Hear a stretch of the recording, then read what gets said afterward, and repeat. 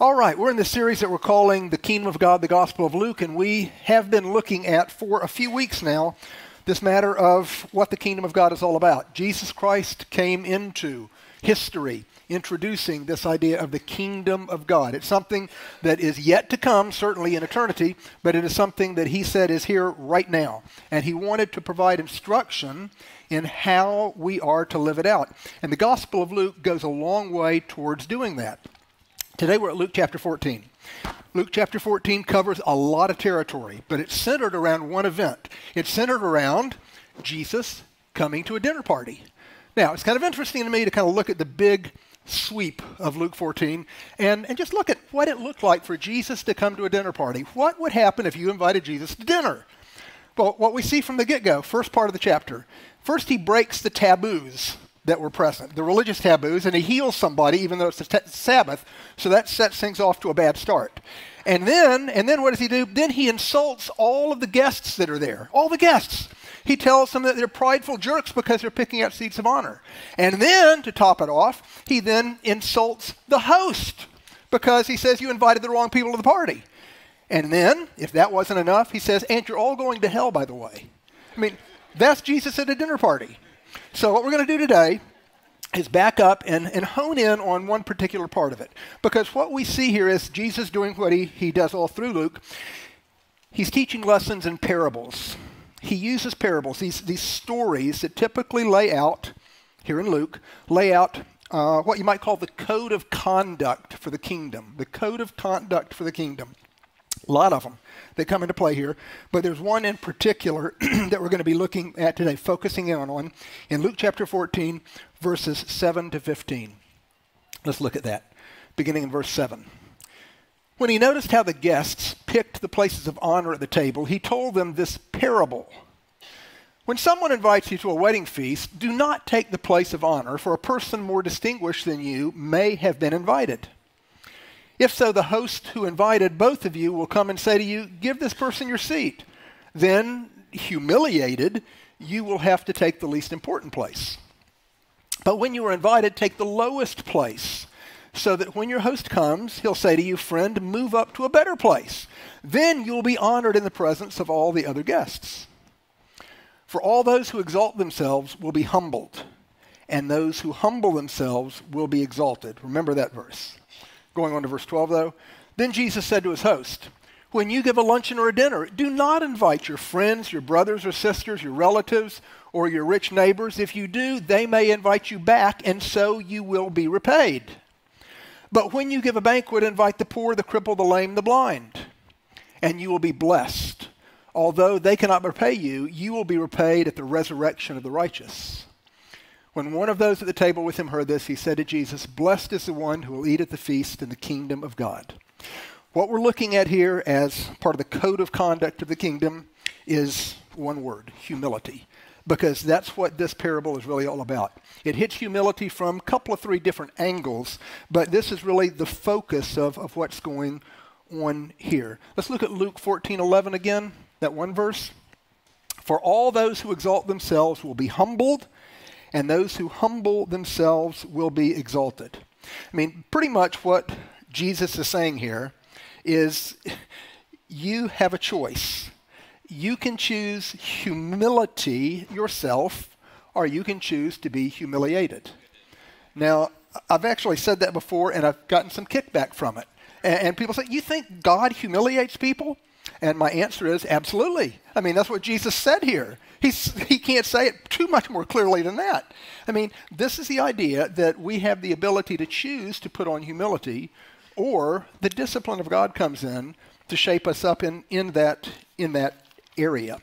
Humility, uh, as we look at it, it's a big deal in, in the Bible. I mean, Old Testament and New, we see this, this idea of humility, the need for humility repeated over and over again, and it's, it's brought home in strong terms. Now, let me just give you an overview of where we're going today. We are going to look at some basics about humility. We're going to look at a couple of examples. We're going to look at how humility can help us out in a couple of big areas, big areas where we struggle. And then we're going to conclude with some habits of humility that we need to develop. Now, I'm telling you that in advance because I want you to do this for me even if you tune out for the next 20 minutes looking at the basics, tune back in real quickly when we start talking about the habits of humility to develop. Because what we're talking about is something that can be a true key, a true key to becoming the person God wants you and me to be. See, there's this really strange thing that's going on here in Luke. Read through it again and see if you pick it up. The idea is Jesus is saying humility is something that we can choose. Humility is something we do Humility is not just a feeling, it's not just the way we think, but it's something we do, it's something we choose. But then, but then, ironically, counterintuitively, he goes on and he tells us why we should choose it. Choose humility so that you can be exalted. Now, do you see the irony? We're to choose, we're, we're to, choose to, to be humble ourselves so that God, in His timing, can, can exalt us. He says, the road, the path to greatness is by humility. And so hold on to that again as we get towards the end with these habits of humility, because the habits that we're going to be looking at are all biblically based, and they are things that we need to consciously, intentionally put in place in order to pursue the destinies that God has for us. Humility is something that is not easy, but it is intentional. That's what Jesus is saying here. That's what we see as we look through the entirety of Scripture. It's not something that's easy. It's not something that simply comes by osmosis. It's not something that we ask somebody to pray for us to give us. It's something that we intentionally make choices and do. So let's, let's proceed from, from, from there. We want to go into this and look at the idea that it's a process, that, that you never arrive at humility. You're never going to get to the point where you go, wow, I'm glad I'm through that pride stuff. I'm glad that I'm finally, finally at the finish line. I've arrived. I am humble. It doesn't work that way.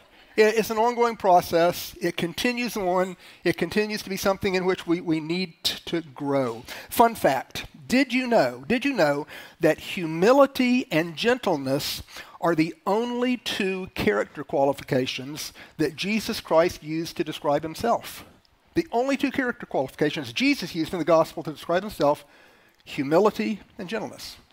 Again, goes a long way. And, we're told, Jesus chose humility. He chose humility. He chose to go through the actions of humility, just like we're encouraged to do. Now, this matter of, of humility is a, a kingdom culture thing that we want to pick up. It's big in terms of what a kingdom culture looks like that, that matter of, of choosing humility, but it's countercultural in terms of the world's culture. I mean, the world's culture is not at all about humility. I mean, you can see that from the weekly feeds you get from the political realm, right? There's no humility on either side of the aisle. It's not about humility. The world is about pride. Now, the world doesn't throw it out as pride is something we're supposed to grab hold of, it throws it as self esteem. We're supposed to be big on self esteem. Well, you know, again, this is not where humility takes us, really. Not to self esteem, not, not in the way the world means it. The world is really screwed up in terms of this whole matter of, of what's important. Interesting fact 2015, 2015, more people died taking selfies than from shark attacks. Bet you didn't know that, right? I mean, can you imagine? Really? I mean, more people died taking pictures of themselves than were killed by sharks. What's going on with that? Well, a lack of humility, obviously, is part of what's going on with that as we're trying to commemorate everything that we have done or, or might possibly do. It's this idea of understanding that it really is a battle. It's a battle against the flesh, it's a battle against the enemy, it's a battle against pride. Pride is something that, that has been around since before Adam and Eve ate that first fruit in the Garden of Eden. Pride is what got Satan kicked out of heaven, it says in Isaiah, in the first place. Um, St. Augustine, uh, hundreds and hundreds of years ago, said that, that pride is like the mother who's pregnant with all other sins. The mother who's pregnant with all other sins. I mean, that's pretty visceral in terms of it, seeing what pride is like. That, that all other sins flow out of this, this womb of pride that, that comes out in so many different ways with lying, with, with, well, it goes on. You know the list. It's, it's just without number. Humility. Humility is something that comes with a lot of different definitions depending on the circumstances in which you find yourself. But I think one important way to look at humility is that humility is knowing your place. Not, not where you want to be, but where you ought to be. Humility is connected with, with a contentment, really, a contentment in who God has made you to be. A contentment that, that doesn't stay passive, a contentment that, that at the same time has ambition, but a contentment that has an ambition that's geared towards how God has put you together. This, again, is, is part of what what's involved with humility. Now, what I want to do, as I said, is look at how humility is described in other parts of Scripture, where it goes a bit more in depth. I'd like to look, uh, for example, at 1 Peter chapter 5, verses 5 to 7. Now, again, who wrote 1 Peter? Peter inspired by the Holy Spirit, but the same Peter who was back there watching Jesus as Jesus gave these parables, as Jesus told these stories about how humility is to be part of the code of conduct of the kingdom, the same Peter that, that, that lived out the battle with pride is in writing about it here in 1 Peter chapter 5 verses 5 to 7. Let's look at that and then break it down a little bit. 1 Peter chapter 5 beginning in verse 5. Peter says, in the same way, you who are younger, submit yourselves to your elders. Amen. All of you, clothe yourselves with humility toward one another because God opposes the proud but shows favor to the humble. Humble yourselves, therefore, under God's mighty hand, that he may lift you up in due time. Cast all your anxiety on him because he cares for you. You know, it's a really compelling verse as you look at this, a really compelling uh, section of Scripture, because what it does is it, it first lays out, you know, the, the threat. You know, do you want to continue in pride? In which case, you're doing what? You're picking a fight with God, is what he's saying. You want to continue in pride? You're simply picking a fight with God. Do you want God in opposition to you? Fine, continue on with your pride. Or, or choose humility, in which case, what happens? The favor the favor of God begins to flow. The favor of God begins to flow. Again, humility is, is accepting our place. Humility is a contentment that comes in in understanding how God has put us together. Humility is about God's glory and not ours, but humility is not about is not about giving up all ambition altogether. It's not about forgetting the things that God has put you here for. And again, I'm jumping back to Jesus as I think about this because think about Jesus, okay? Jesus clothed himself with humility. He chose humility. He saw humility as one of his primary character traits, one of the big two for him. But but what do we see with Jesus? What did Peter see with Jesus? A guy who was all about the mission that he was on. A guy who had ambition to fulfill the mission he was on. A guy who had ambition to defeat the works of the devil a guy who was not who was not simply laying around waiting for stuff to happen, but he moved forward with power. And the way he did it was called humility. It's got a lot to do with where our head is, though. And we need to contrast this matter of pride and humility, I think, just in basic terms.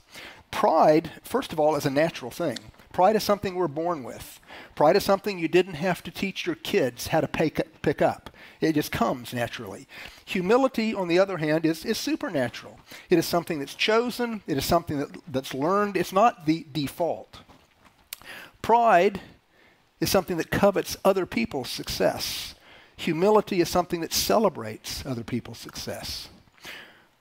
Pride is selfish at its core. Humility is being a servant, serving the needs of others and putting them before you, it says in Philippians chapter 2. Pride is about getting glory, humility is about giving glory. Pride is about independence, humility is about dependence. Pride is about being easily offended. Humility is about being able to become unoffendable. In verse 6, 1 Peter chapter 5, we see again this, this admonition to humble yourselves under the mighty hand of God. Humble yourselves under the mighty hand of God, is what it says. Let's put that verse up again, verse 6, chapter 5 of 1 Peter. Humble yourselves under the mighty hand of God. And what's going on? Well, again, the context, Peter is the one that's speaking. So what did what was Peter what was Peter thinking? Well, I, I, think two or three things come into play in terms of Peter's in terms of what the Holy Spirit wanted to get across and what he wants to get across to us. What, what, what is this stuff about the hand of God? What, what is he talking about? Well, I think what he's talking about and what Scripture is trying to get across to us is the hand of God represents a couple of three different things. The hand of God represents, number one, the plan of God, that we we humble ourselves under the hand of God in that we humble ourselves under His plan. We, we believe, it's trusting that God actually does have a plan for His universe, but also a plan for your life, a plan for your life, which gives us the upper hand in any situation that we're in. It's understanding that when we know that God has a plan, we understand and believe that He's going to guide us, that He's going to make a way for us when there doesn't look like there's any way to be made. I mean, this is what again, Peter saw as he thought back to, to what it looked like to walk with Jesus those three years that they walked together. The plan of God. N- number two, the hand of God there represents the provision of God. The provision of God. Again, uh, humbling ourselves under the hand of God means we humble ourselves knowing that He's got a plan. We humble ourselves not getting all bent out of shape, all worried knowing that he makes provision for us. Peter's looking at the idea that, you know, some kid comes in with loaves and fishes and Jesus feeds 5,000. He understands that there's going to be the provision that's made that's necessary when God needs to make that provision to see us fulfill the purposes that he has for us. Humbling ourselves under the hand of God means that we believe that God has a plan, that God is going to make provision. And then third, humbling ourselves under the hand of God means that we believe that God is going to provide protection, protection for us. He has me in his grip of grace. I think maybe Peter could have been thinking at that point about when he got out of the boat trying to walk on the sea, Sea of Galilee, and he starts sinking, and that grip of grace came down and grabbed hold of him as Jesus grabbed his hand. That the protection comes in. That when we fail, when we fall, when we're walking in his plan, the protection still comes into play. The provision still comes into play. The plan is still something that God wants to see worked out. All of this can be actually put under that one theological term sovereignty. It's trusting, it's believing the sovereignty of God, that He does have a plan, that He does step in and make provision, that He will come in and provide protection. No, it doesn't mean that bad things never happen. No, it doesn't mean that people don't die, but it does mean that the plan is going to be carried out as you stay on the path towards the purpose that He has for you. It doesn't mean that the provision, the protection are going to be there as you complete the purposes that He has for you and me. And it means that at some point, the purposes we have are going to be completed. And then, what's the bad news? We go to heaven. That's not such bad news, right? So this is this is what, what he's laying out here in terms of humbling ourselves, humbling ourselves under the mighty hand of God is a matter of surrender.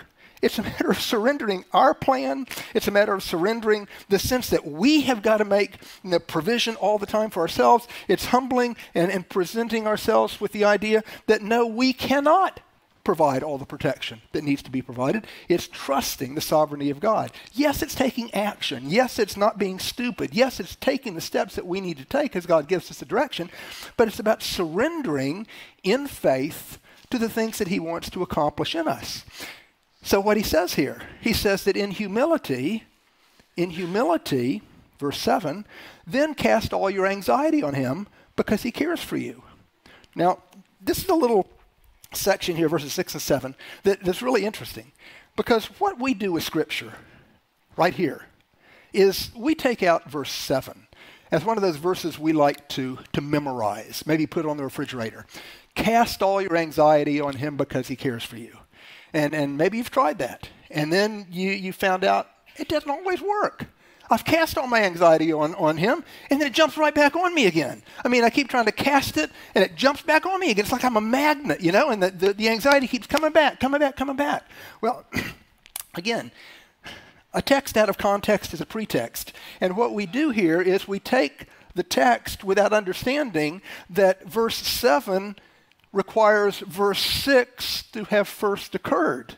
What, what does verse 6 say again? Verse 6 must come before verse 7 because we must first humble ourselves under the mighty hand of God. We've got to humble ourselves under the mighty hand, humbling ourselves and surrendering to God's protection, God's provision and God's plan, and then cast the anxiety on Him. And it's not going to jump back on us so quick. That's the idea. As we have humbled ourselves in the right way, then we can cast the anxiety, and we see one of the great side benefits of humility as being able to walk through life free from the anxiety.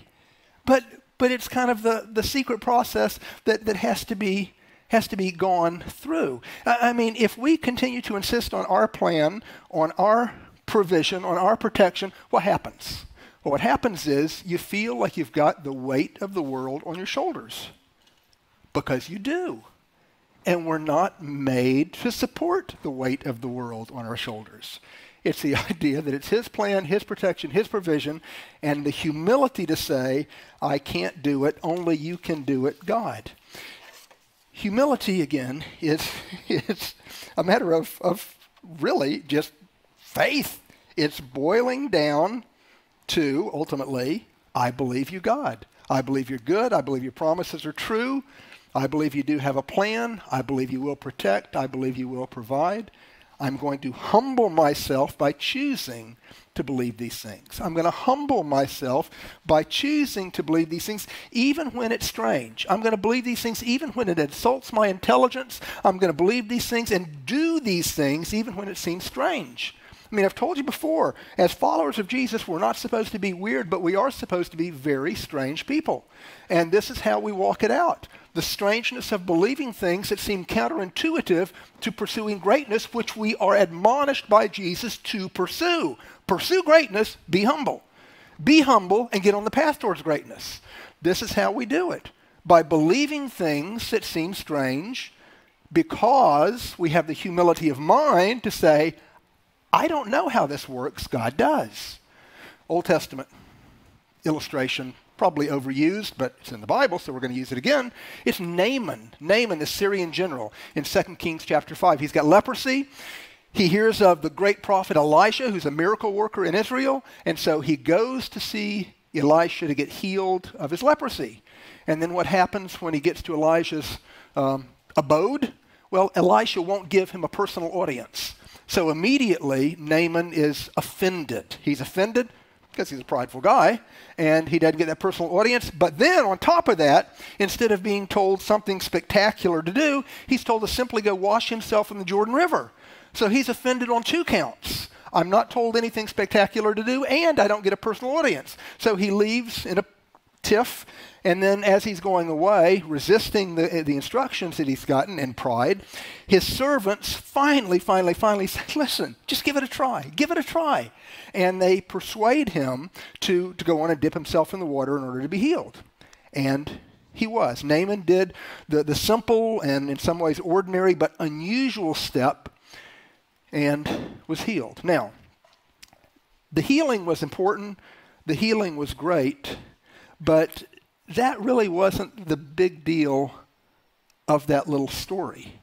The big deal was what Naaman said later in 1 Kings chapter 5. He said, Now I know there's no God but the God of Israel. See, what humility does, as we choose humility, as we choose to take strange steps in humility and believing God, is humility actually opens us up to meeting God for who He is, into that real encounter with God. I mean, we can go on in our religious games all our lives, but it's only when real humility comes into play that, that we have the potential to encounter God for who He is in the relational sense that He wants us meeting Him. It's the way, again, that we, we escape anxiety. It's the way that we get on the, the path that God wants us on to do and be all that He wants us to be.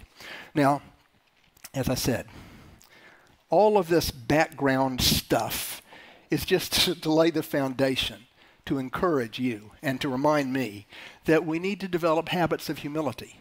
I mean, if if what I'm drawing out of Luke chapter 14 is right, if if I'm reading 1 Peter chapter 5 correctly, if I'm if I'm reading James, if I'm reading all over the New Testament and Old where humility is commanded and pride is warned against, I'm understanding that I need to consciously develop some habits of humility. That is, I need to learn how to choose to do humility in a way where it becomes the natural flow of life for me, where I do it unconsciously, whereas now I do pride unconsciously, where it's something that I learn to do in order for what? In order to be on the path towards the greatness, in order to be on the path towards the fulfillment of the purposes that God has for me, in order to escape from anxiety, in order to have that, that face-to-face meeting with God and intimacy of relationship that he intends for us. So let's close out this morning by looking at some habits of humility that, that I hope you consider taking up. Uh, some of it will be like a test, maybe, of where you stand with humility. But let's look at them. Ten of them right now. Number one. Number one. Ask for feedback.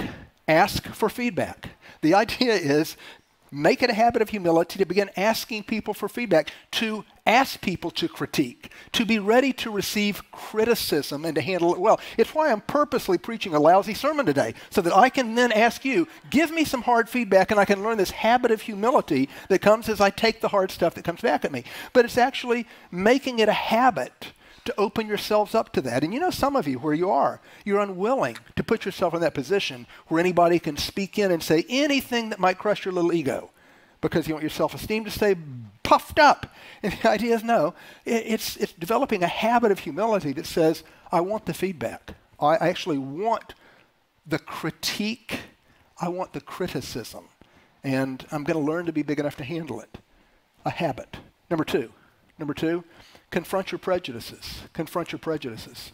And this is what Jesus was talking about in the, the dinner that he went to. I mean, the guy, the host, invited in people who were like him people who were well off financially, people who agreed with him theologically, people who were kind of on the same page, people who could do something for him. And what we need to do is develop the habit of confronting our prejudices and going in the opposite direction with people. Actually, taking a meal with people who might be Democrats or Republicans and we're of the opposite party. Really, doing that, stretching yourself. Actually, moving into a place where you're, you're not simply trying to meet up with people who can do something for you, but people who you can do something for. It's a humility that breaks the prejudices down in terms of, of race, in terms of theological persuasions, in terms of politics and moving in and actually putting yourself in a place where you're, you're humble enough to think, maybe I've got something to learn. I mean, maybe you're, you know, a, a staunch doctrinally speaking Arminian or Calvinist, you need to get together with somebody who's just crazy filled with the Holy Spirit and you know doesn't care about all that. And if you're somebody who's crazy filled with the Holy Spirit and doesn't have your doctrine down, you need to get together with somebody who does understand their doctrine a bit better and kind of compare notes a little bit and get together on these things and understand humility is what's going to open the way to the fullness of what God has for us. Number 3. Number 3, start with a question. Again, simple, mundane habit. The idea is when you have your meetings this week, small groups, coffee, lunch, start with a question. Not a question about you, not, you know, do these pants make my bottom look big? Not that kind of question. A question about the other person, a question to elicit something from the other person. The idea is to develop that habit, a habit of humility that makes you, whether you're initially interested or not, develop an interest in other people. Number four. Number four. Really listen. Really listen. That means not listening until they keep quiet long enough for you to have an opening to say what you want to say, but really listening is an act of humility, thinking maybe I can learn something from them. Number five, admit mistakes and confess sins. Admit mistakes and confess sins. We make them all the time. Fess up early. It's humble and it's actually something that makes you look secure and strong. And so you want to do that, admitting mistakes and confessing sins to particular people. You don't confess all your sins to everybody, but to individuals and certainly to God. Number six, forgive.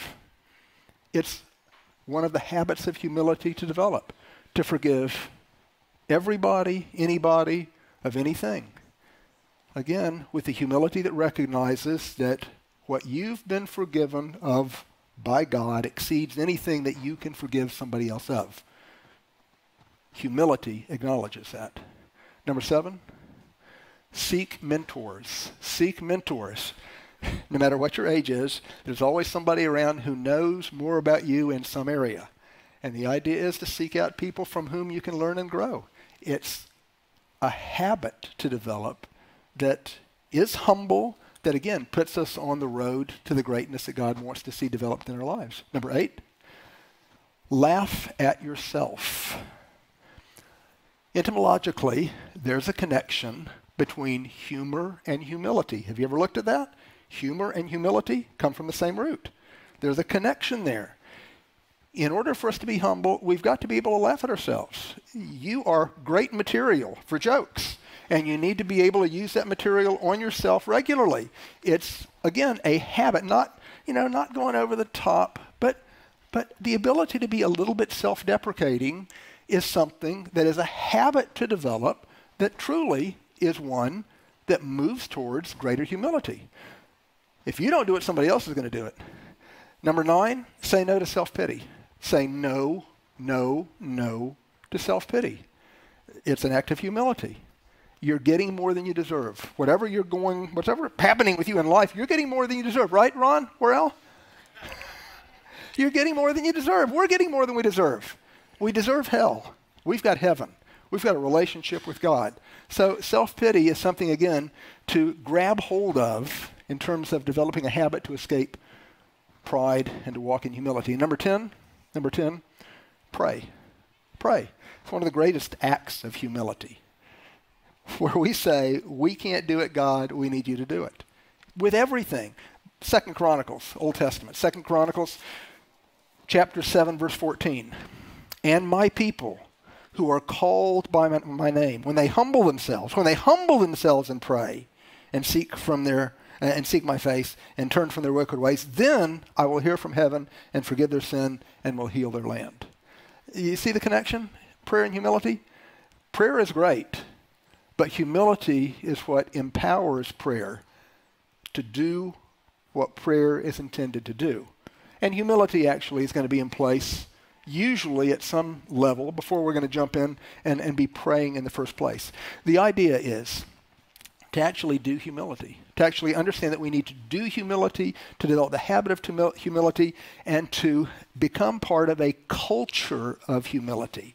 A culture is made up of spontaneous, repeated patterns of behavior. Spontaneous, repeated patterns of behavior. And we want habits that develop a culture, a culture of humility, a culture of humility that, that's free from anxiety, a culture of humility that meets God, a culture of humility that, that breaks through and sees God move in our midst with with the supernatural intrusions that he wants to bring, but that pride often blocks.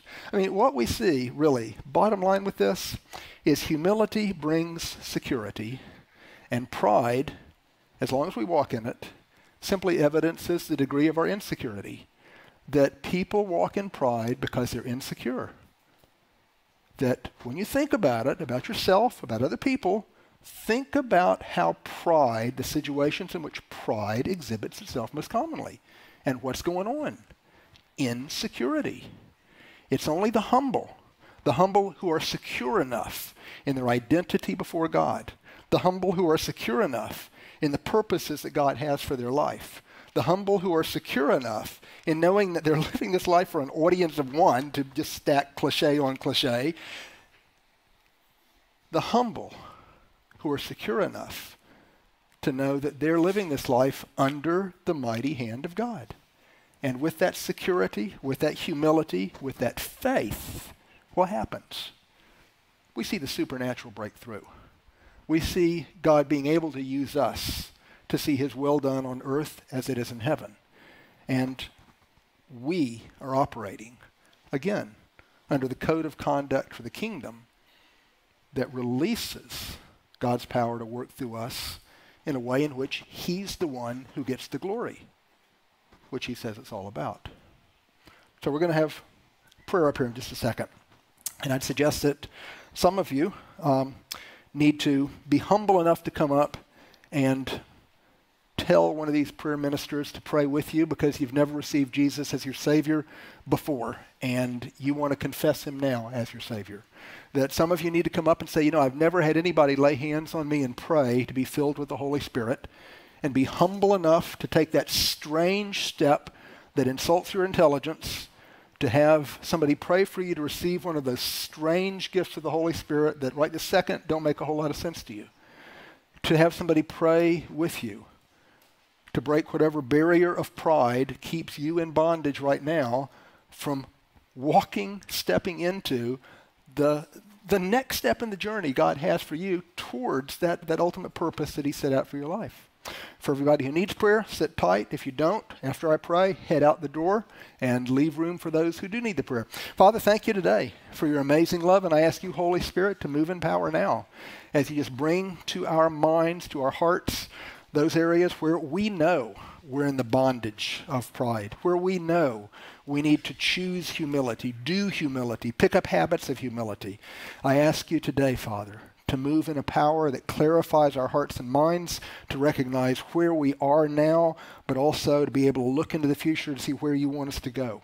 I ask for you to move in power, Holy Spirit, as you bring that clarity, as you bring hope, as you bring that gift of of repentance, of an ability to change our minds. Change our minds about what humility is, about the desirability of choosing it. We ask all of this in the power of Jesus Christ's name and ultimately, Father, for your glory. Amen.